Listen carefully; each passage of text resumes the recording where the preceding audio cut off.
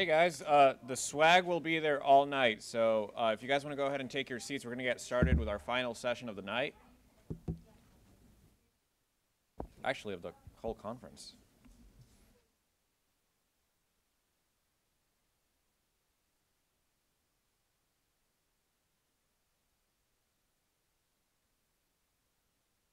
Before we actually get started, I do want to make sure that you guys sign up for the Columbus Conference. It's, it's going to be great. It's a great opportunity. We're waiving your fee, so make sure you sign up. Give you like 10 more seconds to sit down.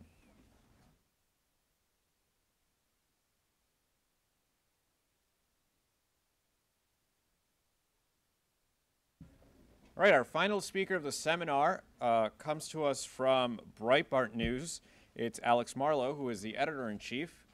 As Andrew Breitbart's first hire, Marlow helped launch the right's most infamous online publisher's family of websites, which includes big government, big journalism, and many more. Uh, he has been involved in breaking and developing numerous stories of international significance, including the Acorn child prostitution scandal and Weinergate, which led to the resignation of former U.S. Congressman Anthony Weiner. Uh, that's actually one of my favorite stories of Andrew Breitbart is when he actually just crashed the uh, the Weiner press conference and spoke for 14 minutes, and it, I watched it live, and it was it was quite quite exciting. At the age of 28, he is perhaps the youngest top editor of a major media publication in the country. Alex graduated from UC Berkeley, where he was an activism advisor for Young America's Foundation. His work with the Berkeley College Republicans landed him on the cover of Time magazine. Alex hosts Breitbart News Saturday on Sirius XM Patriot Channel and sits on the National Journalism Center's Board of Governors, where he mentors the next generation of journalists and new media freedom fighters. Alex is also no stranger to the major networks, uh, where he is often seen uh, defending the, the conservative perspective. Please help me in giving a warm welcome to Alex Marlow.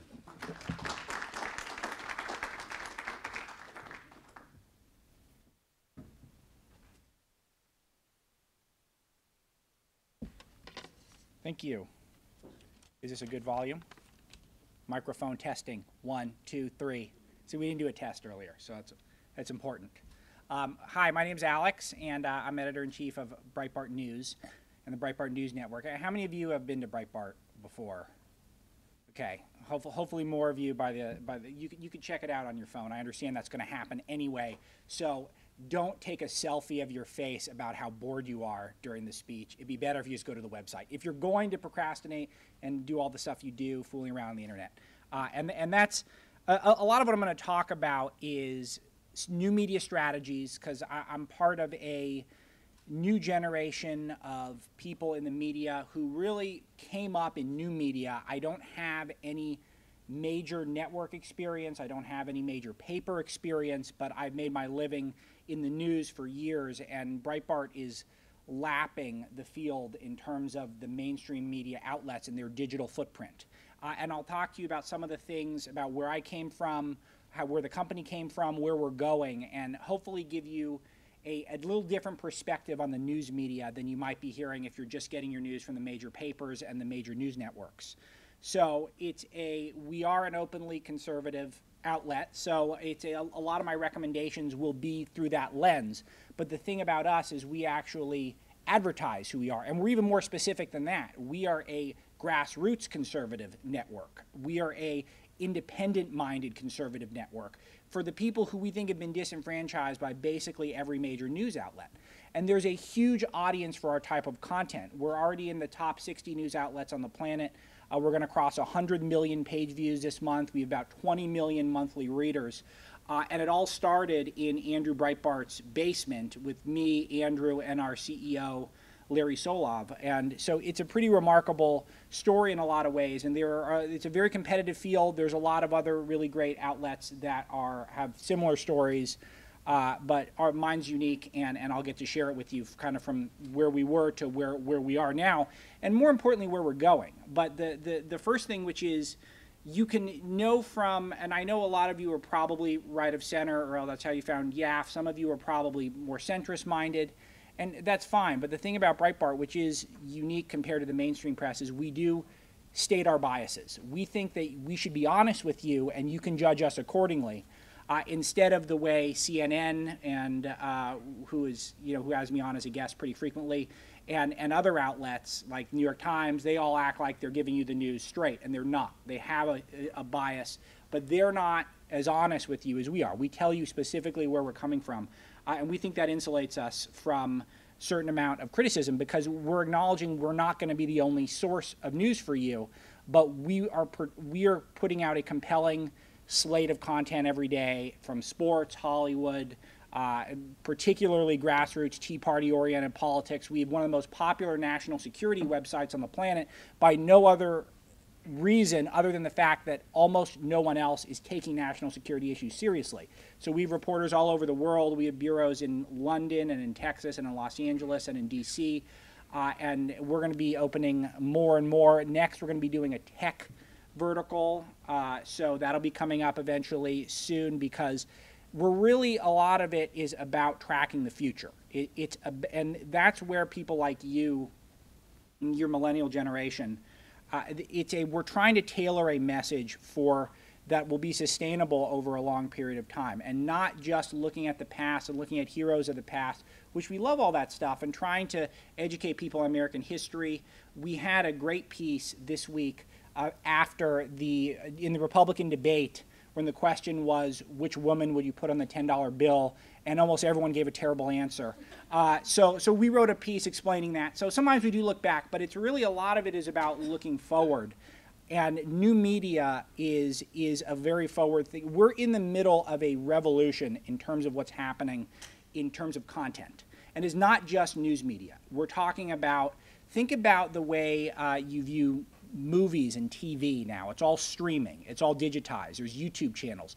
You've hundreds of channels, and you guys probably are young enough you don't even remember when there was only 60 channels. And I don't even remember when there was only 11 channels. And now we have that plus YouTube, plus things original stuff on Netflix. It's becoming more niche and meaning that there are specialties where people are becoming an expert in a certain thing, tailoring some content for a specific audience, and really roping in that audience and, and cultivating them. And it's a fascinating time because it's, it's really democratized. Um, the government can't regulate fast enough to stop some of us from popping up, though I know they would like to. Uh, I'm sure Breitbart is not is not a, a. I don't think we have a lot of fans in the White House. I actually have a sister in law who works in the White House, and I can say for a fact we don't have a lot of fans in the White House. Uh, we're proud of that. That's a good thing. We're not a big fan of the president, uh, but the, the, the, and you guys are, I assume. Uh, the, so, but, but that, the, the thing that's most interesting is where the media is going. And the way you watch shows, how it's now everything's on Netflix and you binge watch it in 13 uh, in 13 straight episodes. Or you might have a favorite YouTube channel. Even I want to touch a little bit on Instagram, that I think certain candidates, for example, are putting out these six second Vine style Instagram messages, which are very effective. Uh, and hopefully during the talk, uh, I'll give you some tools to bring back to. How many of you are still on campus? How many of you are still in college? Okay, so I'll hopefully I'll give you some tools to take back to your colleges, and then most importantly, some things to do when you get out into the working world, which is I hire tons of young people. It's a most of the company is younger people, uh, just because of the nature of we're very aggressive. We're a 24/7 outlet, uh, and part of that means that we need to rely on people who are ready, who are up and at 'em in the middle of the night, who are ready to dive on a loose ball and that's one thing that I, I I'm going to say some negative stuff about your generation, which is still my generation, the millennial generation, during the course of the talk. But one thing I will say is that you guys do work. There's no, I don't have one exception in my company of younger people who aren't ready to work uh, and aren't ready to dive on a loose ball late at night on Saturday uh, or late at night on Friday. And, and that's very cool. And I think that's new. Part of it is that we're also dialed in uh, with, with these guys uh, and and uh, this is very useful for a lot of reasons, and then we'll get into some of those during the talk. Um, in terms of me, I, I kind of I, I, came into the conservative movement through. I, grew up outside of Hollywood, and I went to a school called Harvard Westlake, which is a really well-known private school. And uh, I, I kind of never thought of myself as a conservative. I thought of myself as more of a libertarian. And I, am definitely more conservative now, now that I've, I've been out in the real world for a while. But I was just sort of a limited government guy, and I realized how hostile the environment was for me, even at high school. And then I went to UC Berkeley, which it was insane in terms of, I mean, just by breathing, I was offending someone. And uh, but in, in high school, it was I, I it was still everyone was respectful, but it was not everyone was respectful. Most people were respectful, but you still were looked at like a redheaded stepchild. That, that's that's not supposed to be an offensive expression, by the way. Media matters if you're watching. Uh, it's, it's, it's an old timey expression. Uh, I'm allowed to do that. So it's a look. There's a lot of people are offended out there. It's a there's a lot of offense taken these days, and so just having the view that. Uh, you know, I, not all the government regulations of the environment tend to be working. I mean, you saw what happened to that river in Colorado. Sometimes it doesn't, that's now orange. It's like the shade of John Boehner's face. It's like, it's not, it doesn't work that well. Uh, sometimes the government isn't always what it's cracked up to be. It's, we might have a problem with the $19 trillion debt. It just doesn't sound like a great idea in terms of telling you because I'm going to tell you you got to pay down your credit cards, you got to pay down your ridiculous student loans. But us, we're just going to keep spending over here in Washington. It doesn't make sense, and those opinions were viewed hostilely on campus. Uh, and after a, a environmental a debate with some kids in in um, uh, in the environmental studies seminars, which I wasn't in, uh, where I, I, had a particularly good day, and, and I think I won the debate quite handily don't always say that. I'm pretty introspective, and I like to say when I've done a poor job, this was not one of those days. This was a day I did a particularly incredible. As Donald Trump has said, it was terrific. It was fantastic. It was a. It, it, it was the best. And uh, I, I heard that this teacher had the environmental science teacher had called me granted, I was 16 at the time and I had just failed my driver's test about three weeks earlier. Uh, he called me an ignorant moron to his class, and I wasn't even there to defend myself. And I realized, oh my God, this is what I've heard on talk radio, where my parents have played it in the car. The left is completely hostile to any viewpoint. They don't like you just for having your values of limited government um, and believing in the, the, the family and believing in e pluribus unum, in God we trust, liberty, the basic stuff that's on your coin, basic American values. It's a these are not respected by the left. And so the first and probably most important message I can tell you is the left probably won't like you by the nature of who you are. It's a very difficult pill to swallow for young people, particularly in this millennial generation where everything is about the like button and uh, and and and just having positive feedback and a participation trophy, and everyone gets a tie and everyone's a winner. Um, not a tie like a necktie, like a tie is in as in there are no losers. And so it's it's very tough to go out there and realize that people on the left will not like you because of these values, but they won't. And so uh, I have a message for you guys. That makes you punk rock. So you guys don't look it look around. You don't look punk rock yet but you really are, because it is actually an act of defiance to be a young person, to be a person under 30, and have at all right of center values. And I'm sure there are people in this room who are sort of Rand Paul libertarians. There are people in this room who probably kind of like Marco Rubio, Jeb Bush, or really centrist type guys. And there's some of you who are probably Tea Partiers who are just limited government no matter what. And any one of those positions, and we could debate on those issues all day, that's not the point of this talk. Uh, but any one of those is viewed as is going to cause offense to people on the left. And in particular, the three main cultural institutions that we have academia, the mainstream media, and the entertainment media. In particular, the entertainment media. Academia almost doesn't recognize what a conservative looks like at this point because they are in such a bubble, it will blow your mind. Uh, but it's a you see how Hollywood treats conservatives. That Emily Blunt, uh, the actress who married the guy, the tall guy from The Office, so became an American citizen, said watching the Republican debate made her not want to be an American. It's a, and she's got a huge movie coming out, a blockbuster style movie with Benicio del Taco in it, and whatever the guy's name is. It's a, it's a. I think I heard that somewhere. I don't get full credit for that joke. It's a good one though. Uh, and and she doesn't want to be an American because some people have a different opinion that might be more conservative. Who is she? Who is she? And why is she saying that? It's like she's asking all the people in this room, say, "Oh, don't go to my movie because I don't like you."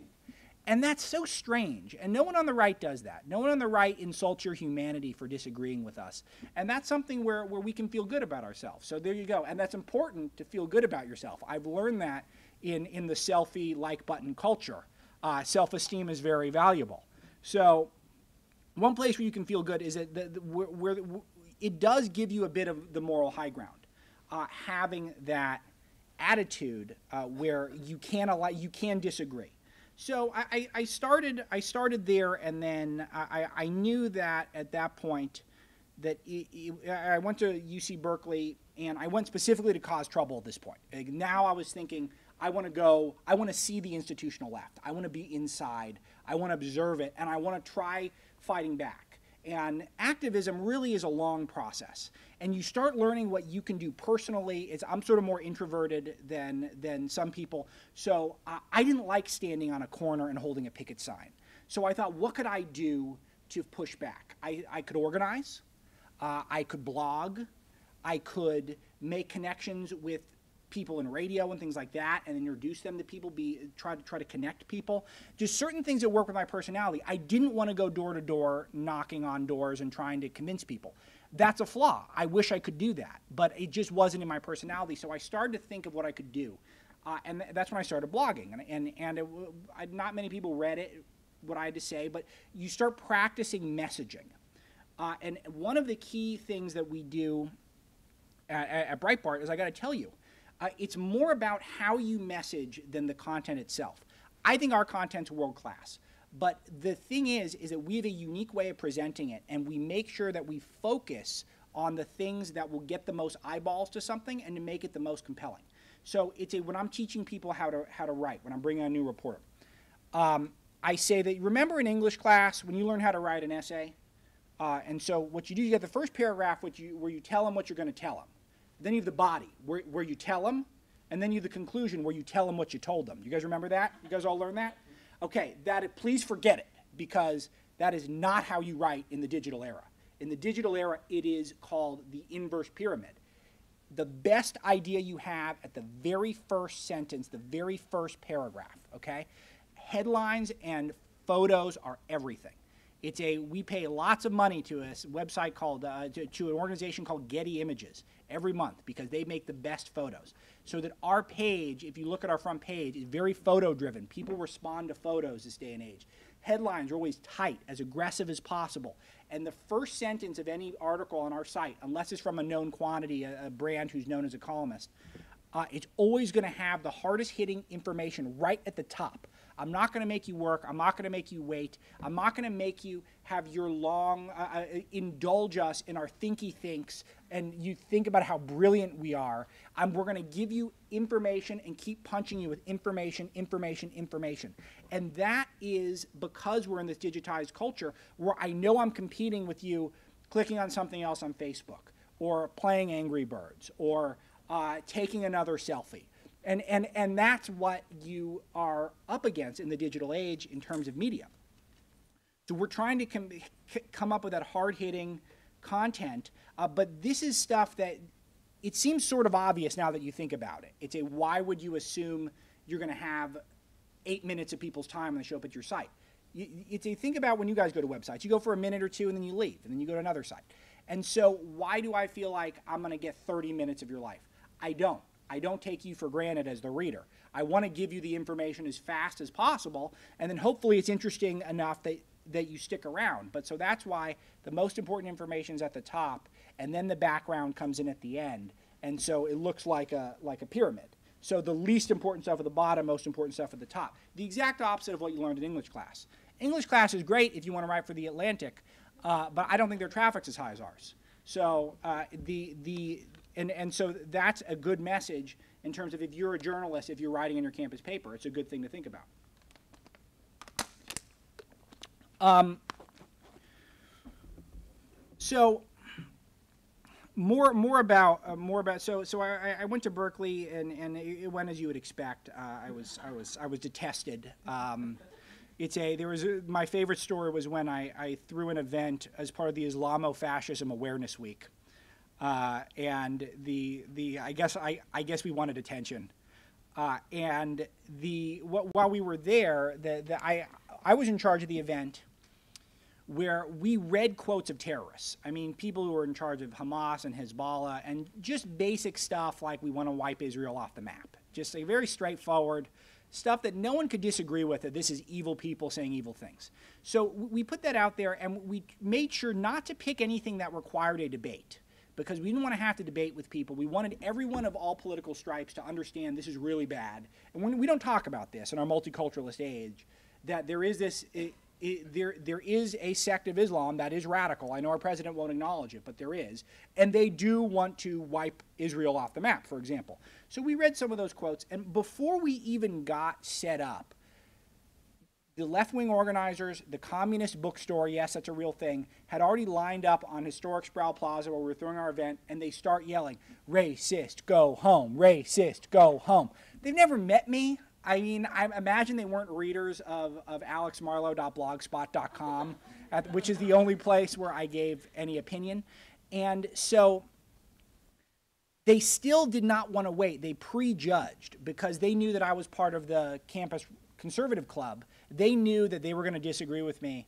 They thought. So they don't listen what they do is they shout and they organize and then so and and this happens to this day is that they get out protesters and they try to distract from the content of the event i was on cnn last week they start asking me about uh, these protesters outside this donald trump event because there's all these pro- protesters there they, they have you know, pinatas of Donald Trump and things like that, and they're all screaming in, in Spanish mostly. And, and, and they asked me if I, if, if I thought this was going to have an impact, and, and, I, and I said, it's a great question, but absolutely not. because I don't believe these are the people who will be voting in a Republican presidential primary. So they're not the exact people that Donald Trump is trying to court when he's doing his event. He's not concerned with people who are ranting in Spanish at him when we have still another year of the primary. Maybe we can talk in a year for the general if these things are going on, then it might be a reasonable question. But so that's the left understands this tactic works, and they get all this media attention. The media is very excited about it. CNN can't stop talking about it. And uh, then luckily, the, th- thankfully, CNN at least has me on to say that it's, it's, it's stupid.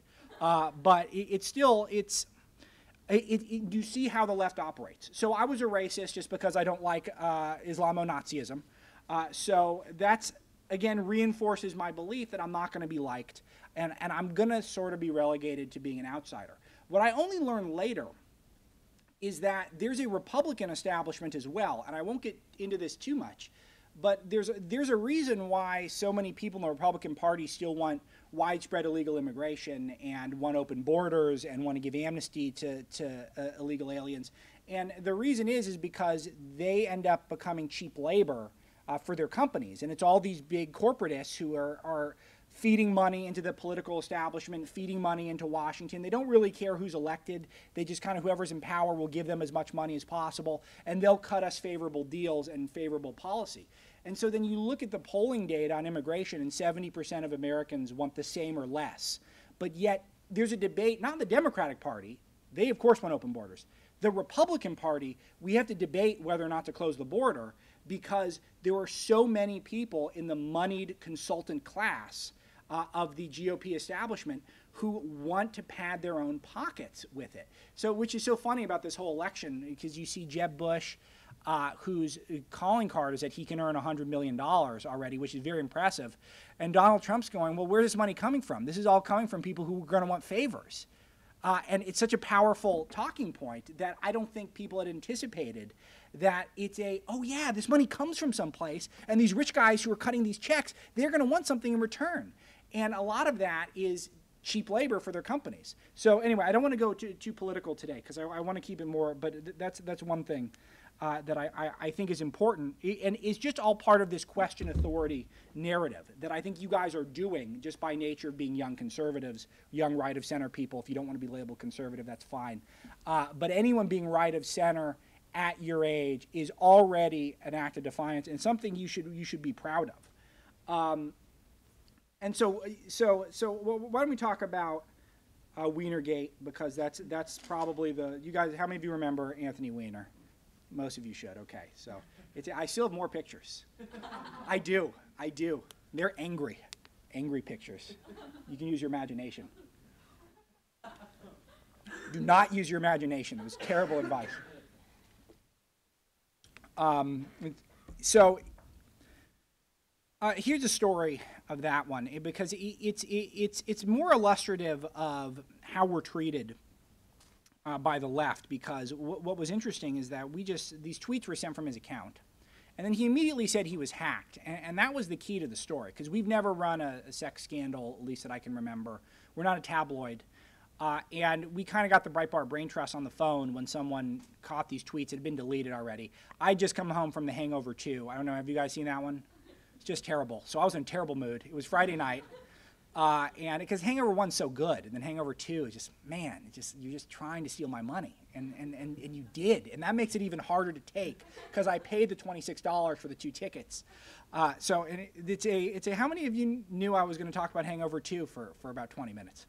Uh, we can cut it off there. So, so I came home Friday night really late. We hear about this Congressman Weiner, who's of course a left-wing guy, uh, wife Huma Abedin, who is uh, Hillary Clinton's right-hand lady, uh, and uh, that was not. There's no innuendo in that, and the the. So it's all very strange. All these relationships with the Clintons. Whenever the Clintons are involved, nothing off the table. Um, it's going to be a wild year and a half, folks. It already is the the so he tweeted that he tweeted the picture of looked like a man's bulge in his gray boxer shorts. And, and we were thinking, should we run this? We've never done a sex scandal. It's a everyone's got skeletons in their closet, uh, aside from a few of us. But most people have skeletons in their closet, and it's a no. We don't want people snooping around all the Republicans. Who knows what they got going? Uh, maybe we shouldn't do anything. Who knows? And then I pointed out that he did say he got hacked. And that's a big story because if you guys see every day now, we're learning about different hackers spilling thousands of information. Ashley Madison just outing thousands of adulterers. It's just, it's every day you feel like you're seeing a new hacking story. And this was three years ago or so, maybe even four years ago. And so you're seeing uh, this this is the future. This is what's happening. Is we're all going to get hacked. Our Twitter is all going to get hacked, and people are going to start sending horrible things out. So that's the story. And if you look at our first copy, it has nothing to do with the sex scandal. It has to do with Congressman says he was hacked. So the lesson there, actually, for those of you who are social media users, to be precise, the worst tweet was not the picture of his wiener.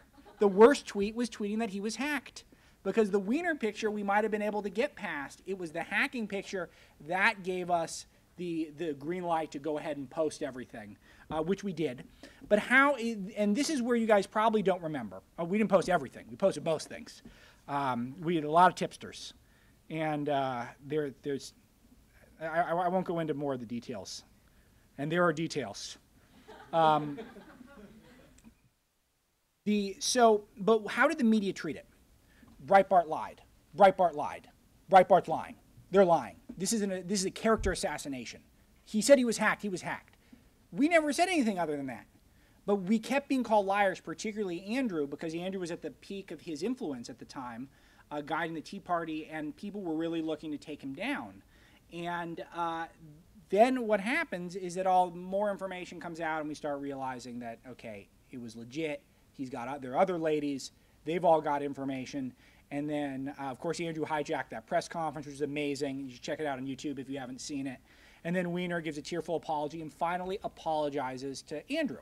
So, but when is the mainstream media, when do they ever treat themselves that way? If one outlet has a scoop, if the, the, the, the uh, Washington Post and the Guardian, who broke all the Edward Snowden stories, you didn't see the New York Times writing pieces about how they're all liars.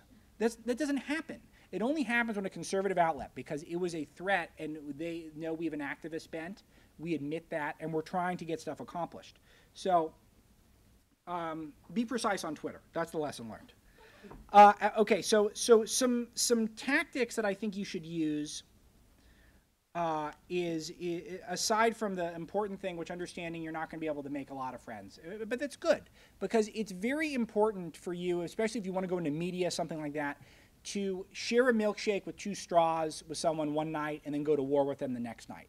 And we are in a war. It, it's a civil war. It's not violent, but there are people who have ideas for this country that are completely opposite of what our ideas are and people in this room. And they don't look at the core American values as essential. In fact, they look at them as an impediment. And they want to put out this multiculturalist, We have no border. We have no culture. Government can be as large as it wants. Uh, and just so long as everyone gets a selfie stick, then everything will be okay. Government selfie sticks for everyone. And, and, and, and, and that's, where, that's where we're headed. Obama selfie stick. It's a, that could be the new product. So it's, the, and, and, and that's at odds with what we're trying to do uh, in the conservative movement in general. And we agree and disagree on various things, but that's, that's where the left's coming from. And so we, we really are fighting them, and we're fighting people who we think are aiding them at all. Um, top things you can do. Number one is, is network. So what you're doing here is the first thing you can do is meeting friends. It's a we get a lot of exclusives from Rand Paul, for example, as I like to say. Part of the reason is because while I was a, a Young America's Foundation activist seven, eight years ago, whenever it was, the number one activist in my class was a George Washington University student named Sergio Gor. He was so good, it was almost obnoxious. He just ran the tables on all of us. He bummed Pat out to no end. It's a Pat had basically had a full time job just setting up events with Sergio for his one campus uh, outlet.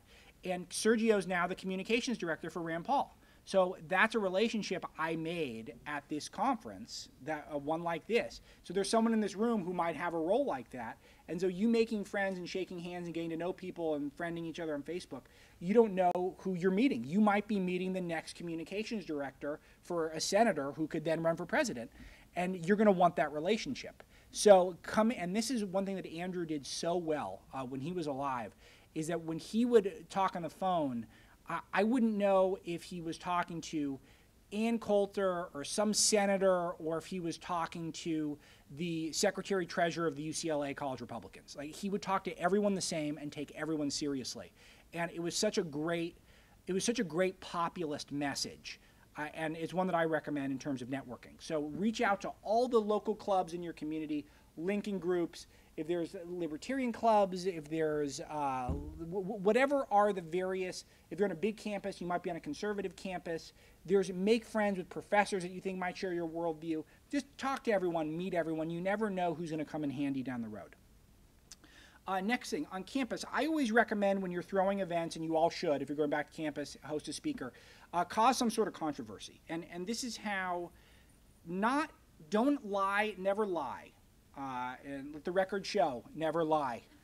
And but it's it's it's you do want to be provocative, and I don't like being intentionally offensive to people, but people are gonna take offense anyway. So because we're in this era where everyone's offended all the time, no matter what. So since you know that, uh, you may as well you may as well use it to your advantage. When when I hosted Dinesh D'Souza when I was on uh, the Berkeley campus is he Dinesh D'Souza wasn't the guy who you know now from all the documentaries that are number one best most sold documentary of all time or number two whatever it is. It's a, a he was a much he was just a, a, conservative writer who I liked a lot and thought had a lot of good ideas. Uh, and but he said a lot of stuff that I didn't even agree with that was very controversial stuff about civil rights. And remember who he is. He's an Indian guy who came to this country at 17 and now makes his living explaining to people how great America is so kind of awesome. Uh, but he said some controversial stuff in the past. And so when I was hosting an event with him, I didn't put up best Dinesh D'Souza quotes to inspire conservatives. I was at Berkeley. I had to know who the audience was. So I put up the most offensive Dinesh D'Souza quotes because that got energy, that got attention to the event. And then people were going, like, who is this crazy person coming to campus? Then we have protesters, we have people holding out banners. Then it becomes a news story. Local news can show up and then you have energy. And then believe it or not people will show up and listen to his ideas and how brilliant he is and how he articulates them. And then that way i'm touching a lot more people than if i marketed it as a conservative only event. If you're in a very conservative area though that wouldn't be a good tactic. Then you use here are the sharpest things he says. Here are the things that are the, the wittiest things he says. Stuff like that. Uh, another thing you can do is um, you know, you know, we do this at Breitbart with a lot of our headlines. Are I, I, I routinely ask, what is the, the hardest hitting headline I can get away with? And this bothers people because I tend to know where that line is and I don't cross it, but I really do try to walk up to it, and sometimes as fast as possible because that way you can get the most attention. Uh, and and again, not attention for the sake of attention, which is, we're not the Kardashians, but for the attention, for the sake of, there's only so many ideas you're going to be able to kick around in your head at any given day. And so I'm competing with other ideas to get my ideas in front of you. And so get, doing things that are provocative, you have to embrace it. We don't always have to be the elder statesman. And that's the old conservative movement. And Andrew rejected that completely. Uh, and that's one thing that I think is, is, is essential to anything you're doing in activism. Uh, data is always good. The uh, my favorite project from my years at YAF was a friend of mine, Jonathan Sawmiller, who is at Boise State University, made a just a, a spreadsheet of the money Boise State in conservative Idaho, uh, the money these public schools spent on conservative versus liberal speakers. Liberal speakers is about 200,000 for the year. Conservative speakers, any hands? Guess how much? If, this is the price is right, so you can't go over.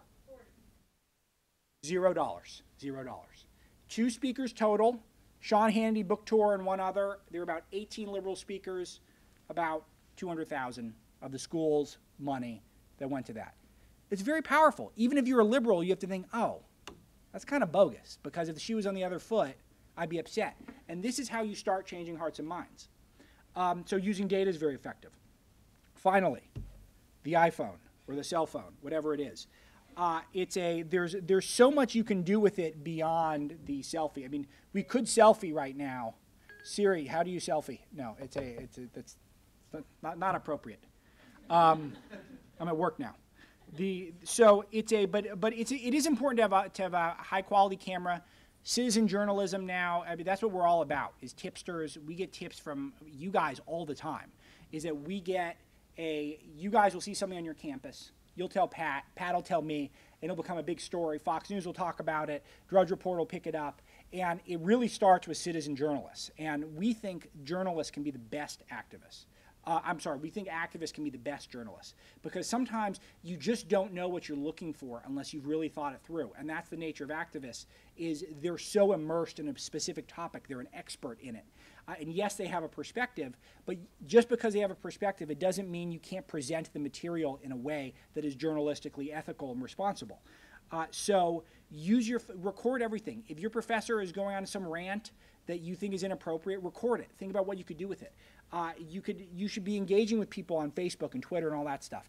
And I, I don't like trolling people and just being mean for mean's sake, but you should feel free to debate people, particularly on Facebook. Uh, and the reason is is because Scott Rasmussen, the, the famous Republican pollster, uh, he pointed out that this is all, all politics is local, and I'm extrapolating it to the digital age, which is that I don't. I talk on the radio every Saturday morning. Uh, it's a largely conservative audience on Sirius XM Patriot Channel, uh, and it's a. I don't know how many people I'm com- convincing or converting, but I'll tell you, they all have friends and family. They have people who trust them and who've known them for years and decades and believe in their opinions. And I'm trying to give them, I'm trying to arm them so they can go to their dinner table. And now there's a virtual dinner table, which is Facebook, which is all the people you know from work, people you know from your pickup basketball league, people you know from your poker night, um, and people you know from any club or group or high school. And they want to see you share content that you believe in. And so you have to engage there. And if you're a creator of content, think about not just what is the most conservative, but what is the things that will convince people who don't already agree with you? What will make us compelling? Uh, and, and, and this is something that should be part of your whole persona is thinking about it's not what it's sometimes it's it's how our arguments are much better than the left's but why does why have the Democrats won five of the last six popular votes in the presidential elections? Because they've got Scarlett Johansson with her pouty face cutting videos with will.i.am and putting it on YouTube, and they're just so much better at messaging. And this is where Republicans and conservatives are, have been terrible. And we're improving slowly but surely. And this is where Donald Trump is so amazing, which is that you could disagree with everything he says. He slays the media time and time again. He knows exactly what gets people's uh, what presses people's buttons because he's a master media guy. And that's his, his, it's not that he's the most conservative. You could make a case he's not conservative at all, but he keeps beating the media in terms of getting favorable coverage for himself. And that is a skill that's so valuable. And that's why when I go on, on television, for example, hopefully I'll say something smart. I'm much more concerned with do I look like a good representation of conservative values? Do I look like someone who's an appealing person? And trying to be a, a generally a nice and, and smart person, maybe a little cool if I can pull it off, which is tough, but I'll try. And just trying not to be a nerd or an angry person or be someone unlikable or a know it all, be condescending, being arrogant. Just stuff that you know that you don't want in your friends. Don't be that person to people who disagree with you, or else you'll never convince them.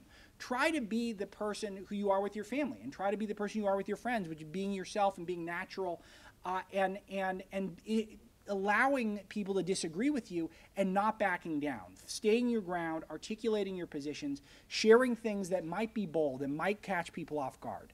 Uh, but if you see something that does share your values, that, that you think uh, adequately shares your, represents your values, share it. And then people debate you, respectfully explain to them with the facts what's going on. So that's why, so, and that's happening on Facebook more than at any other place. Uh, Twitter also as well.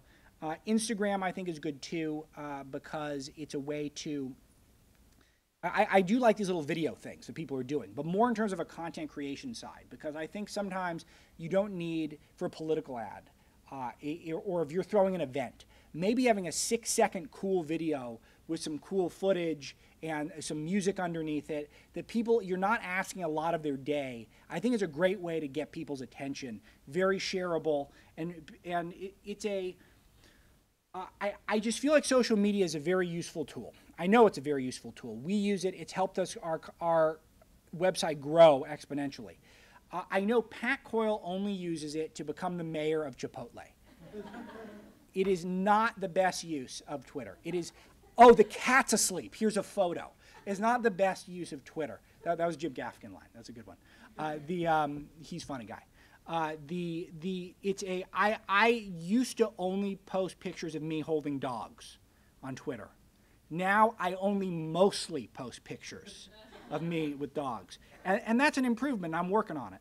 But it's a way to engage in really what is a digital town hall that's happening. Uh, and it's a, no one cares if you took a nap. No one cares if you splurge and you got the guacamole. It's a, and it, it's, it, guacamole season's coming to an end anyway. So we're going to think it's weird if you're into December and you're still posting the guacamole. It's like, oh yeah, this person can't taste guacamole because it's bland, and they keep wasting their $1.75 on it. Um, that's not a good use of it. A better use is when you're throwing your campus event, make a cool little video. Make something compelling. Make something edgy. Make something that's, that's maybe a little bit in your face, but not to the point where you're, you're bumming everyone out. So it's, uh, I, I think that these are all very useful things to do. It's also a good way of testing your ideas to see if they work. Uh, you could put out arguments, see how people respond to them. They get a lot of retweets, things like that. If you're throwing an event, you put on Facebook, see how many people RSVP. We're doing our first ever Breitbart Town Hall this week. Uh, after seven years of, we're going to have a meetup group of people in. It's going to be in Indianapolis, but we're going to try to do these around the country people who meet up. I mentioned it one time on local radio, and we got 125 RSVPs on Facebook, uh, which is really unbelievable. And I'm not saying it surpassed expectations, but it's a great way for us to know if I mention it on radio and I got three RSVPs and we rented out some brewery for four hours and I'm going to fly to Indianapolis to talk to three people, uh, then maybe it wouldn't be worth the expense to the company uh, that that would, but that's not how it goes. And so I was able to gather that purely by one time I said, check us out on Facebook and RSVP if you want to come. And so then we get a sense that there's interest. So it, it's all very, using social media is, is very important. Um, mastering YouTube, it's everything's going on YouTube. All shows are going to be released on YouTube. You can do it yourself now. Create your own content. And so it's a if you have footage, interview other people on your campus. Uh, I love what YAF does with their asking people who know how 9 11 happened. They, they, they, don't know what inspired 9 11. They probably couldn't even tell you the date of 9 11 in some cases. But yet, never forget. Everyone says it, never forget. Hashtag never forget. But they don't remember, they don't even know who Al Qaeda is. And so these are all things you could you could interview people and put on YouTube very easily. Then you have a link to share with people in the media. You have a link to send to me at alex at breitbart.com, which is my real email address that you guys can send me tips. Uh, so having that, so you're starting to see the things come together I'm talking about. Having your network, having your social media chops in order. You should all have a blog. If you have a print publication at your paper, at your school, unless you're fundraising big bucks off of it, is not doing anything. Uh, because it's no one's reading print anymore. They're reading on these things. Half of my traffic is on these things. Which sort of, I don't love it. I, I, I kind of like, I use the computer all day. I have my office, it looks like the Starship Enterprise. I've got big monitor, little monitor, and giant monitor, and I got my ergonomic chair, and my ergonomic mouse, and my ergonomic split keyboard, and I get my Beagle and my Terrier mix, and I set them up next to me, and I get my iced coffee, and then I actually set one armrest slightly lower than the other because I like my left arm a little lower. It, and then when I'm done, I'm done. So I go into the zone of, of social media and new media and blogging and internet and politics, and then I try to come out. But that's not the reality. The reality is people are just using these things. So you should be thinking about is what I'm doing, uh, am I using this properly? Am I accessing the information? Am I capturing the information? If there is a, a um, if there's an opportunity to make a video, you have no excuse anymore. You all have one of these. So you can make, you can capture any event that's happening on your campus and then you share it with that network. You post it to that blog. And then now you're changing hearts and minds and you're practicing your messaging. And you're starting to learn what's working, what you think is getting attention, what you think is convincing people, what you think is making conservatism more appealing to people of our demographic. And that's where we're, that's when we're really going to start changing hearts and minds because our arguments are better and they always have been. Okay. Um, yeah, just coming back to something from before, I always recommend infiltrating institutions. Uh, that's a, if you're on your campus, you should all be running for student government. Maybe you can only get in enough votes to get in one senator. But once you're there, then you can maybe do a good job and get in a second senator, maybe get in a vice president. And then eventually, within a few years, you can co opt the whole system. And you should be doing this at your paper as well. Don't just say, oh, I, we've a, our paper's all kind of left wing. Doesn't matter. Go in there, get a column, do a great job in that column. The next year, say, hey, I got another person who could be good. That person will come in and they'll do a great job and they have your values as well. And then all of a sudden, you start infiltrating the institutions. Uh, and this is what we're doing in the media. And there's a reason why there's so much thriving conservative media right now, is because we're not welcome at the Washington Post. And so, okay, that's fine. So we'll do our own thing the same way Netflix is competing with the networks now, which was unthinkable. They don't even have, they're not even part of a television, uh, and they're beating people. I mean, it's a, it's just, you could use this thing. It's a literally the Netflix, if you, if you go to the homepage on, on the internet, it's a lady watching her phone. So, and they're beating the networks. They're beating, we used to all watch Dukes of Hazzard. I didn't, but everyone used to get around and watch Dukes of Hazzard, which is terrible and because there were only three things on. And so, the, and then we, people would all watch Johnny Carson. None of that is happening now. It's all do it yourself. It's all this niche culture. And so, that's why, if you start creating your own content, see if it fits into the institution, but you're getting in practice so that you can go do whatever you want because we don't know where media is going. And so, you're going to be building the skill sets so that you can go and make your own YouTube program you can make your own podcast. Uh, you can start contributing to online websites. And you're starting to see sites like Breitbart pass places like the Boston Globe in terms of traffic. And that's really cool. And it doesn't surprise anyone who lives in Washington and sees 200 Capitol Hill reporters from the mainstream media all cover the exact same angle on a story because they all went to Columbia Journalism School. So when we come in and we have our right wing bent to us, uh, we might see a different story uh, than they'll see, and that gives us a huge advantage. So if you want to go into Hollywood, you should. If you want to go into academia, you should. And if you want to go into the media, you should. Don't feel like you have to go to your state house.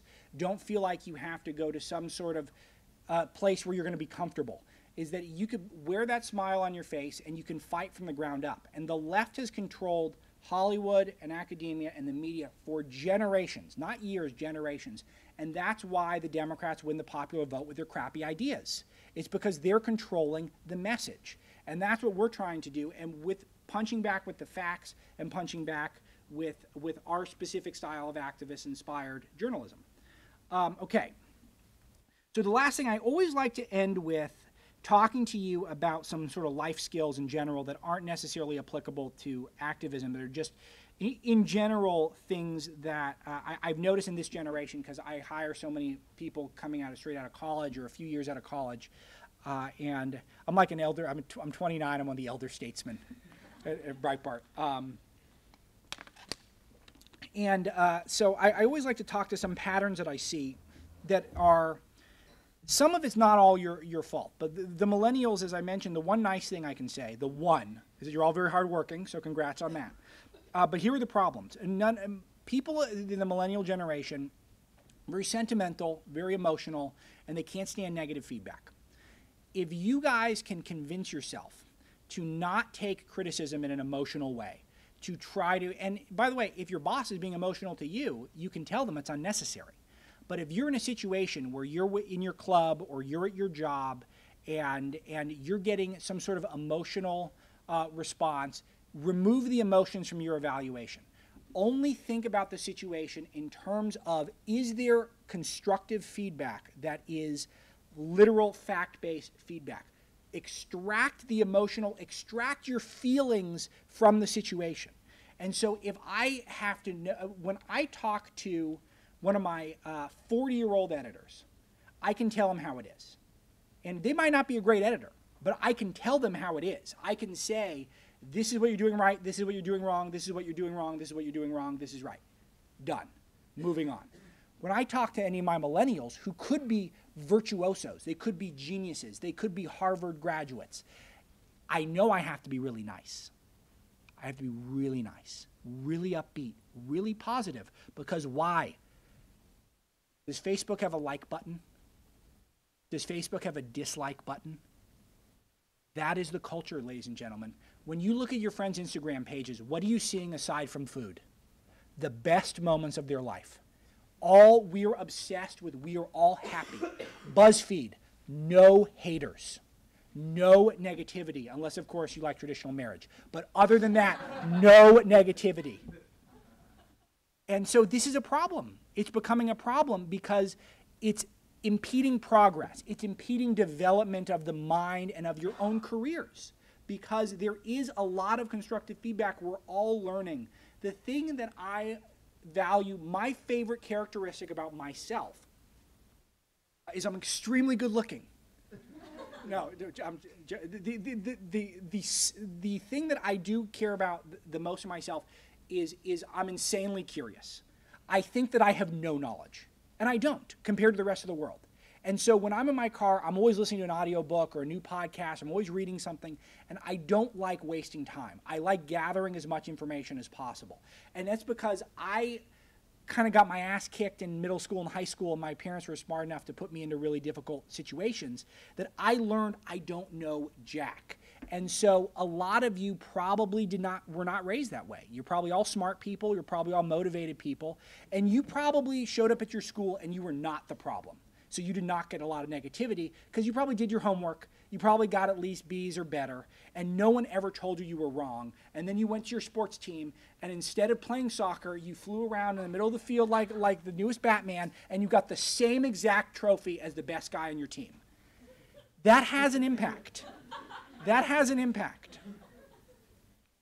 And I have guys at my company who, who are produce very little usable content, thankfully not many.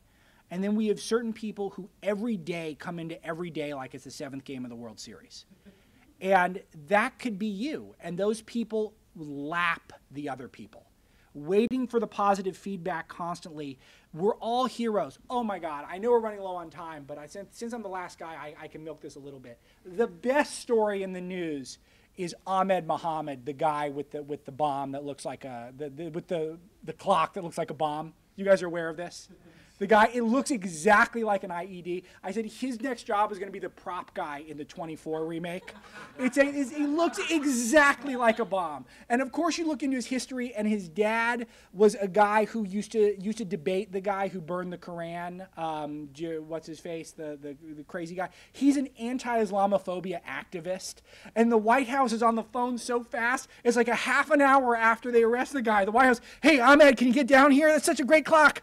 It's such a joke. And so he's a hero. He's a hero because he was a victim of the left's own policy of if you see something, say something. The left came up with that. And so it's a, I love this story because Ahmed's a hero because he brought this ridiculous looking box in. Let's say who's gonna, he, it, as my colleague John Nolte says, maybe he'll make a toaster in a box next time. Maybe he'll make a DVD player in a box next time. Maybe he'll have a, have a shaver. I'm hoping a box selfie stick because that's what we really need. And it, it, a, it's so absurd. It's so clearly a hoax what's going on here. It's so clearly manipulated. And the media was all in line, one after the other, to tell Ahmed that he's a hero. And so this is having a profoundly detrimental effect on society. It is. Because you don't have to do anything aside from be the victim. And then you are anointed. You are better because you bring, you bring this crappy clock to school. Probably because someone put you up to it. And we know that the radical Islamists do that because we see the ISIS videos of the kids executing other people. It's we know that's not out of the picture. I don't know what the conspiracy is here, but it's clearly not the kid just built this thing on his own and brought it to school. That, did, that is not what it is. But it fits the left's victims are heroes narrative. And it's permeating the whole culture because, as I said, who controls academia? The left. So this is why we need to fight back on all these institutions. So what I'm saying to you is that, first of all, it'd be good to not be the victim. Um, but what I'm saying is getting reps. You can't go into the gym and lift the giant bars over your head and uh, do. Oh, I'm sorry, I got to be uh, current. The kettlebells. You can't get, grab the biggest kettlebells now uh, unless you practice and you go every day.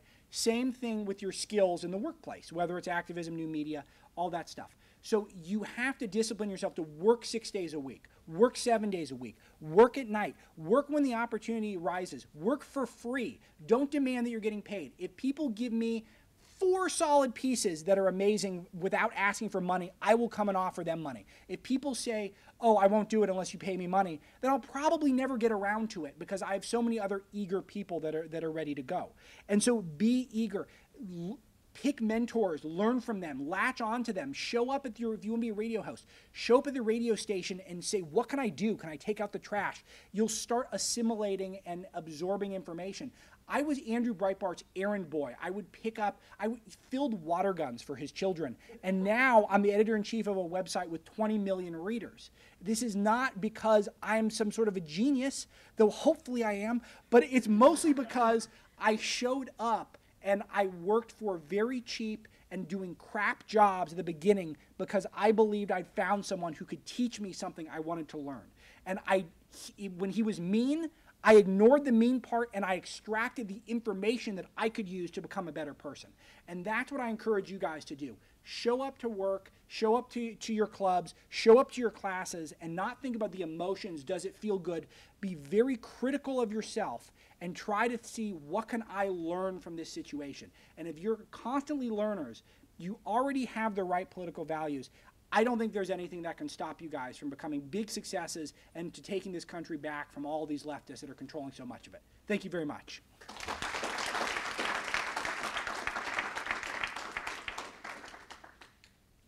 right, we've got some time for questions. Questions for Alex?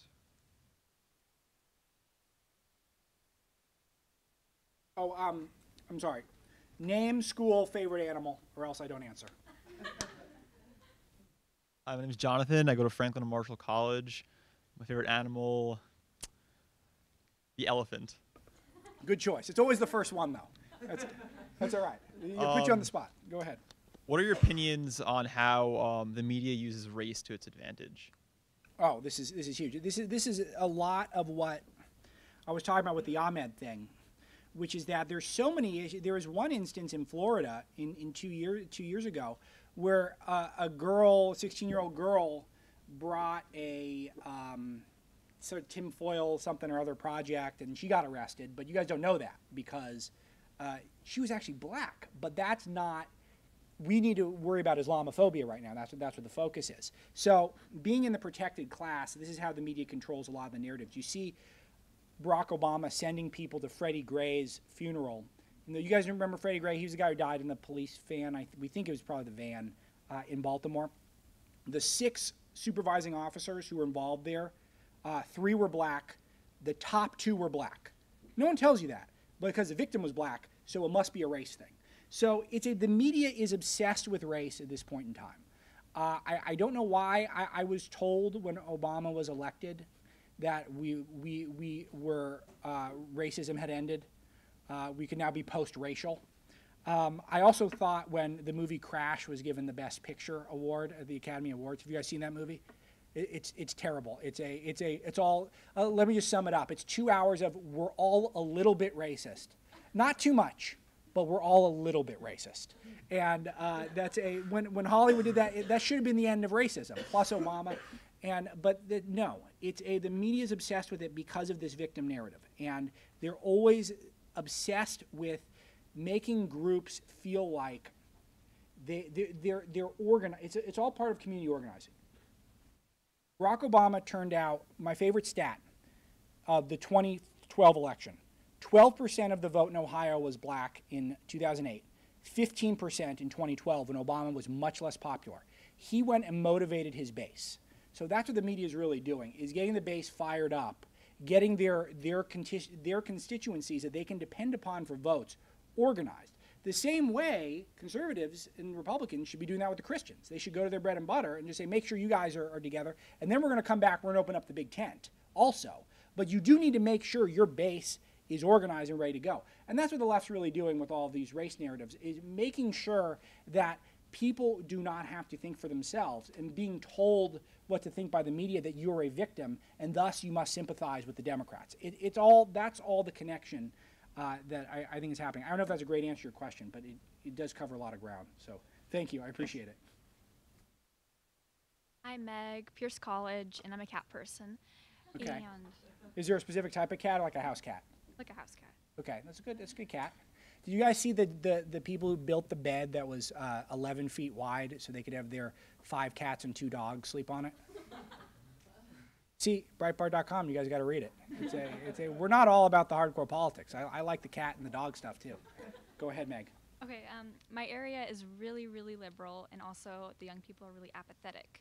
Yeah. So, is controversy still the best way to attract people to listening to our ideas? Um, I, I, I, do think so, but there, there are other tactics, and this is why I, I'm so big on reps and trying to figure out what is working. Certain things work better for other people and certain things for uh, people of different personas. Some people are really good at being mean, and and, I, and I'm, I'm not that good at that, so I, I don't try it. Uh, and some people are, are really good at being funny, and so you have to see what works for you, and and that's why you need to practice and throw events and see what works, and try something controversial, try something being really polite. But the the thing that the we haven't done a good job of being cool um, that's why I like to empower you guys and remind you you are the punk rockers because it's it's not cool anymore when you have the same values as the entire media, as all of academia, as most of Congress, as the president, as the Supreme Court. It's all. Then how cool are you if you're if you're if you share the same values? It used to be speak truth to power. Now it's I agree with power. I mean, it's not that. That's the left now. It's not that cool. So. Um, but we need to do a better job of that. So that's why I'm, and I think YAF agrees that th- throw a cake party. I mean, do something fun. Throw it, have a debate watching party and invite everyone you disagree with and let them see how you guys play. It's not, it's, there's time for punching people in the nose, but there's time for hanging out also and just being likable, decent human beings. And I think that we have an advantage there because they hate us for thinking what we think, and we don't hate them. We, we disagree. Uh, so I, I, I do recommend controversy, but also in your personal relationships, it doesn't it doesn't work well to yell people yell people individually. Sometimes having a controversial ad campaign gets attention. It piques people's curiosity. Maybe secretly they'll be compelled, uh, even though they might not say it overtly. So overtly, sometimes when you're one on one, usually being friendly is good. Um, but it's it, it, it's a it's a cocktail of the two and that's why you just need to start having the events trying out things seeing what's worked comparing notes with your friends and family and see what works in their lives and then you'll start getting into a rhythm but it, it does take practice just like lifting those kettlebells so i think that that's the best i can do there meg thank you Hi, my name's Arissa. I'm a student at Yale. My favorite animal is the bulldog, probably. okay Only handsome Dan, though. That's the only bulldog. okay Um, my question is, for so- as someone who's personally been attacked, like Yeah. you said, your teachers have called you horrible names as well. How do you recommend we respond to those kind of ad hominem attacks for against conservatives? Should we like actually respond, make them into a scrapbook? You know, it depends on when. It, it depends on the context of the attack. Um, there's, I got I got called a bunch of names on CNN a few weeks ago, and uh, so I just told the guy. I, I started saying, "You're just calling me names now. These aren't arguments. You're just calling me names. You're very unlikable." I, I, I said, I said, and and and and that, that was good. I give myself a B for that. Uh, so, but but I, I stopped. I didn't quite hear what he was saying, and and he was actually insulting a bunch of people who are conservative Republican voters, and he was a Republican, establishment Republican. I was kind of representing the grassroots in the in the debate, and uh, and I kind of missed. I it would have been an A if I had said oh, you're insulting a bunch of people. And so this is one thing why I mentioned the immigration stats earlier. 70% of people want the border closed and control over the immigration system. 30% don't. But it's at least the reverse in the media. So you guys probably didn't even know that. So sometimes when you arm yourself with the facts, you can fire back and if you have them on the tip of your tongue, you can say, "Oh, that's wrong. You're you're representing a viewpoint that's a minority viewpoint. You're representing a highly unpopular viewpoint." Uh, but if they are doing ad hominem attacks, then I would just highlight you are now calling a student names. Eh, How do you feel about that? This is what you worked your whole life to do, to the opportunity to call someone half your age names.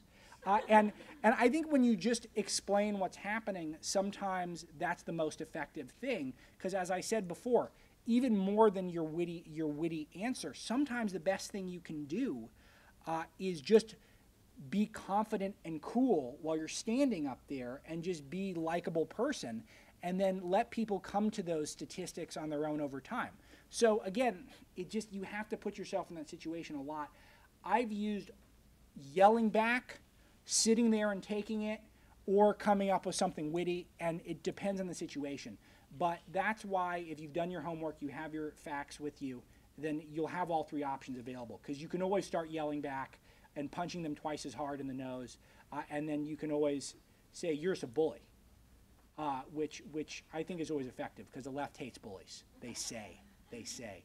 Okay, thank you. Hi, I'm Shannon Bell. I'm a sophomore at GW, Okay. and for animals, I I have to go with hedgehogs. That's a good choice. That's that's unique. Thank you.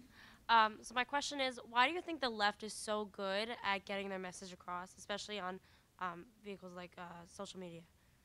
Um, I, I think I think they're, they they see the future much better than we do. Is that we're always two three years behind, if that. Uh, all Silicon Valley is all left wingers, and they they're dialed in, and they're not quite as left wing as the breed in Hollywood, um, because they're more libertarian. But the, all the technology companies, they're all, you know, I've been talking about immigration a lot. They're all they're pro op- open the borders, let everyone come in. There is no America. It's just a, a plot of land. Come on over and let's have a hug. and um, so that's that, that's part of it. Is that they literally the people without values uh, with, with those values have gravitated towards the technology uh, companies. The other thing, which is most important, and this is, I can't believe I haven't mentioned this yet, and which is why this is a good question, is that we think at Breitbart, and I know this was Andrew's big theme, is that the culture is actually upstream from politics, meaning that it's the culture that's driving the politics and not the other way around. Meaning that it's not that the the Scarlett Johansson was so inspired by Barack Obama, it's that Barack Obama was a creation of Jeffrey Katzenberg and all of these movie these, studio moguls, David Geffen, and these people on the left who have are worth billions of dollars in Hollywood who anointed him. It was Hollywood, Katzenberg and Geffen in particular, but it was Hollywood who anointed Barack Obama the second coming and said, This is our guy. It's not that Barack Obama was a, he was, and then he was carried across the threshold by the mainstream media refusing to play the Jeremiah Wright videos and stuff like that. And so it's, it's if you really think about it, it's where the culture yields a lot more power in the politics. And we've always had it backwards. We've always thought, let's have the best guys in politics. Let's have really smart people. And our best people are going to go and they're going to learn how to make the case for uh, really sound fiscal policy in Capitol Hill. And it's been completely, it's been a total failure. And so they're just, they caught that the culture was so influential and they've co opted the technology a lot quicker. But we can bounce back. So, I, but I, I think that that is the key is that if you guys are using technology to get your message across, uh, using the culture to get your message across, that's how you have to do it if we're going to compete. Okay. Hi, my name's Jenny Howard. I'm from the University of Tennessee. Okay. I just wanted to know what Hold your on. stance. Hold on. Oh, sorry. it's a tie between a white tiger and an alligator. Um, White tiger. Okay, so I just wanted to know your stance Not racist. Media matters. on your uh, stance that your company Yeah. would take um, for getting the word and across to the people who can't really afford things like Yeah. the internet and just social media because there's a lot of poor people yeah. that can't afford it or just don't. Yeah, th- these um, they're, they're not the focus of our company because they're they're not they're not voters. Um, so th- so I- I'm I'm cool with that uh, for the time being, because th- those people are not really a part of the political process. Uh, as but you are starting to see homeless people with cell phones. Isn't that wild? So I, I can't say that we have a great strategy. I'll tell you what's not the strategy. What's, what's not the strategy uh, is what Mitt Romney did, and uh, with his 47% of people don't pay taxes and and being very negative about that. It's very tricky because I'm anti social programs and almost I'm, I'm very libertarian on the social issue stuff. It's just I can't think of a good reason for the government to expand. I really can't. Uh, and it's a and I want to cut everyone off of everything. I think welfare is a vicious circle. I think it's a way of people essentially getting bribed into voting Democrat because the Democrats will will increase your welfare, so they'll give you a raise. All you have to do is pull the trigger for them. I think it's terrible, and it creates this cycle of people living in poverty just at the edge of subsistence because th- that is one of the ways you can kill people's motivation is give them just enough to be comfortable and then and then say that we'll just keep doing that and give you a little bit more every so often. It's terrible and it's much better to, to give them the skills to go out on their own and to go make something of themselves. Um, so it, it's but you have to be very careful with it because a lot of people are on these programs, and if you come out guns ablazing, we're gonna cut welfare, yeehaw, and then and then all of a sudden all the people on welfare are going, oh, I know who I'm not voting for, and it actually only makes a fraction of the budget because the budget is so much the debt, and it's, it's so much whatever wars we're in, so much Obamacare. I mean, there's all healthcare. There's all these things that are are sort of should be front and center. So the message has to be different. And I don't think I've nailed it, but I'm not a message guy. I'm a media guy. Uh, but I, the message has to be more positive. It has to be more about uh, don't you want the skills? Don't you want to focus on believing in yourself and thinking that you don't need the government to give you a raise? You don't need the government to give you more money, that you can earn your own money on your own? Don't you want that sense of satisfaction? I think it's more along those lines rather than demonizing you for taking money from the government or stuff like that. But but it's a great question and it's one I promise you the Republicans have not figured out yet, and uh, they're going to have to quick if they want to be viable party. So Okay, thank you. Hi, Alex. Thanks for taking the time to come and talk with us. you're, you're Uh, welcome. Zach Harvey, senior, Providence College. Favorite animals, golden retriever. Golden Retriever, good Very choice. loyal. Uh, so my question is, you know, re- so recently at Providence College, the liberal factions have taken the the the phrase white privilege Yeah. has become very commonplace in their vernacular. Oh yeah. And I'm curious what you, as you know, really a very Yeah. forward-thinking leader in the conservative media, what can we do to combat this? Especially as you know, as a lot of white men are trying to combat this, and people all over the conservative, like, what can we do, to, uh, you know, combat this? Um, it, it's a great question. I, I think that the, the main thing is exposing it at this point because this is one thing with the, the, the and so documenting it. Just send it to Pat, mostly. Take video. Uh, if it shows up in literature, or shows up in a syllabus, send it to Pat, and Pat will get eyeballs on it because we're at the, the precipice of a college bubble that's going to burst. And I'll, I'll tell you right now, I'm actually enrolled in a night school class at UC Berkeley uh, and it's a management class. And guess how many times I'm going to go to UC Berkeley to take that class? Zero times. I'm doing it all from my apartment building. And that's how it's going to be. And so there's not going to be this r- compelling reason for you to spend $60,000 and show up at a place and have everyone get the same liberal arts education, which works for some people, but it kind of doesn't give you a lot of skills. How many of your friends uh, do you know who are a little older than you who got a liberal arts degree and then sat around when they were done and went, I did great, and now I can't get a job folding shirts?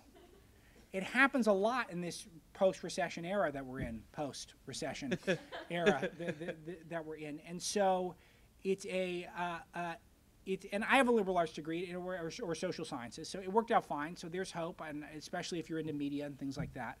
Um, but college is going to change, and so I think we just need to take our time. Don't feel like you have to hit a five-run home run. Just put the information out there to outlets that are interested in it. If there's a lot of white privilege, conversation out there. But this is all the left, the social justice warriors, trying to condition you into some sort of groupthink. Uh, and you can reject it personally, reject it with your friends, talk about it, talk about why you disagree with it. But most importantly, is just exposing the universities for what they are. Because more and more, there'll be places like Hillsdale that'll pop up, there'll be online schools, and we're going to have a, a moment in time where we reject the whole uh, premise of you must have a liberal arts education from a liberal arts institution. And what they don't realize is each one of these white privilege conferences that they throw is just one more brick that you're piling on this building that we're, which is funny because this is a terrible analogy because it's all virtual. Uh, but just, just we're building this building of a new era where we're going to change how people are educated in this country. And there's going to be, I think, trade schools are going to come back uh, mostly online where people are learning skills that are specific, that are specialized. Uh, so, but it, I don't know how to, other than, but it has to be more than I'm just, I'm outraged. There has to be more than that because that, that doesn't really work. Uh, I think just articulating why you disagree, why you think it's a bad idea, and more importantly, showing it to as many people as possible when you make that case. So that's it. I, I don't. I, I, I'm trying to play a long game here. It's not satisfying short term. Short term, you can you put it on your blog. That, that's why I like the blog idea. But long term, we're heading in the right direction. But don't miss an opportunity to highlight where this is happening, especially if you're connected with Young America's Foundation. You can send the stuff to Pat. They'll post it on their blog. They'll send it to me. It'll get on Fox News. People will talk about it. People are very interested in what you all are going through on your campuses, uh, and people want to hear about it. There's not a lot of recourse short term, but long term there is, and it, it's happening. It's already happening. Thank you. Thank you. Hi, thank you for coming this evening. Um, my name is Stephanie Rhinesmith, and I go to Benedictine University. And my favorite animal, I have to give it to my cat Max and say Maine Coon. Okay. Um, So, so is he one of those giant ones? huge, and he likes to Cool. swim, and he likes the snow. He's But, pretty he, cool. but he's a house. He looks like a house cat, but Yeah. he's probably about thirty pounds or Yep, something. he's huge. He's bigger than small dogs. Well, I'm coming over. he's awesome. um, so my Definitely getting a selfie with that cat. Anytime. Um, so my question is, at a time where most news organizations are closing their international bureaus, you said you guys are have multiple Yeah. ones and you're planning on opening new ones. What are you guys doing that is making you guys so successful and able to branch out to the extent that you are? Well, we do a combination of um, aggregation and original reporting. So, in analysis. And so we think it really takes all the above there, and, and a lot of places sort of won't cover stories if another outlet broke them, which is a huge mistake because it's a ton of resources to cover everything all over the world. Uh, it's sort of an elitist attitude. And then there are other places that are just purely aggregation, and, and that's sort of cheap. Um, unless you're someone like, like Drudge, which doesn't do a lot of original reporting, but he's, he's so brilliant at laying out narratives. It's really a narrative driver as much as it's an aggregator. Um, but it's a, for us, we're trying to do a combination. So we'll do, we'll, we'll send some people to Israel. We have some people there. We'll send some people to the Middle East. We'll get stuff there. But a lot of it is just as simple as reading foreign papers. People are too lazy to do that. You could just, you can get copy very quickly, very interesting news stories, just getting someone who speaks the language or using translators and reading foreign papers, just going straight to the source. What's happening in this region? Uh, the other thing is that the same media bias that I complain about here in America, it's even worse in, in around the world. I mean, China, there's only information coming out of two places: Xinhua, which is government news, and the AFP, which is left wing. That's it. There's no, there's nothing else. There's no other news that comes out of China. So it's very interesting to see how the media covers certain things, and you can start anticipating problems and translating problems. Uh, that is, it's not going to be quite as high impact as the American stuff, where we have more transparency, even though it's kind of going away. You know, President Obama doesn't let anyone photograph him aside from one guy. It's true. That's why. How many golf photos have you seen of him? Almost none, and they're all old. So it's very creepy. It's a, it's a. He's been the most. The Washington Post has said he's been the most hostile president to the press, ever. That's not a right-wing outlet. It's a Washington Post saying it. Who probably helped him get elected. Um, so it's a this migrant crisis. Are you guys aware of this in Europe, where all these migrants who are allegedly refugees, even though they're they're a lot of them are all of fighting age and and men, uh, with all these refugees coming from the Middle East and North Africa into Europe and uh, risking life and limb. And it's a now they're gangs that they're starting and they're fighting with each other. And we've been covering this for six months, but the leftist outlets in Europe not interested. So it comes down to the same fundamentals. We have a few reporters in Europe who've been saying this is happening. There are people at the Channel Tunnel, which is called the Channel. I love saying the Channel, even though it's a very serious story. Sorry, back, back to seriousness. There are all these refugees who are, or migrants, whatever you want to call them, who are standing at Calais, which is the where where the Channel Tunnel goes from France to the UK, who've been trying to get into the UK for months and months and months. This is not front page news in the British press. It is front page news in Breitbart London. So it's a their refusal to cover the biggest story, which is a huge budding bubbling migrant crisis because they have a huge welfare state. Do you know in Europe the average vacation, uh, the average person gets 53 weeks a year of paid vacation? 53 weeks a year of paid vacation. Picture that. You guys getting sleepy because that was funny. There's only 52 weeks a year. so it's a, okay. I, I think that's my signal to wrap it up that was like my best joke of the night. Uh, it's a, I've lost the audience. Um, so 53 weeks of paid vacation in Europe. So, so they come for the welfare state. That's why they're there. And it, but the left in the UK press, they don't think of it the way we think of it at Breitbart, which is that okay, they're leaving they're leaving the Middle East. They're coming to the UK. Why? Uh, well, the Middle East has ISIS, and the UK has 53 weeks of paid vacation. Yeah. But when you see those dots connected, you know it's not going to stop. It's narrative. It's the future. It's what's the next story, what's over the next hill. And this is the mainstream press is in the tank for the left all over the world and they're they're they are so lazy it will blow your mind. They aren't the person I described who works in the middle of the night on Saturday. They want to take a long weekend. They want to go out to the Hamptons. Uh, and, and, and, and take a break and tune out. And, and they're not diving on that loose ball. And they're not making obvious connections that basically we pulled all of our American military out of the Middle East as much as humanly possible. We, uh, Bashar al Assad was not dealt with in Syria. Now ISIS pops up. They're growing. We call them a JV team. They keep growing. And then now all of a sudden, everyone's trying to leave and run into the place with the huge welfare state. It's so easy to anticipate this. It, this is a out of straight out of the news playbook. These are all very obvious narratives that the left refuses to cover. So, in a way, it's sort of easy for us to do it because a lot of the reasons places are shutting down their international bureaus, they're not looking for in the right place for the right stories. And that's where you guys come in with your unique perspective, being young, right of center people, and why I think you could be at a huge advantage in the workplace, no matter what you do. If you don't want to do this day in and day out the way I do it with the conservative values thing and pushing an agenda, by all means, do, don't do it. Feel free to go in, be the best person in your business, be a leader in your community, be the leader of your Cub Scout group. I don't care what it is, but then when people talk to you privately, when you've earned their respect, then you share with them.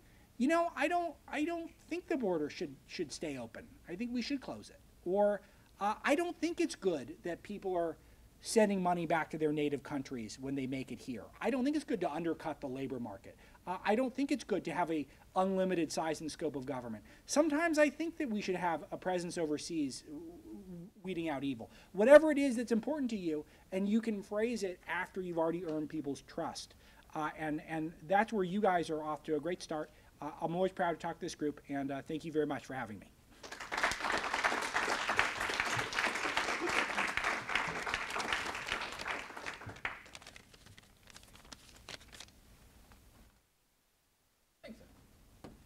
Let's give Alex another round. All right, we're here at the end. So I uh, hope you guys had a good time. We enjoyed having you with us. You were an awesome group. Um, please finish up like your evaluations, your thank you cards. Um, the shuttle will be here soon. We have some swag for you and some shirts outside. But um, regardless, whatever happens, like after this program, we want you to take advantage of the foundation's programs. But whatever you do, just make a point to be active. Be an activist.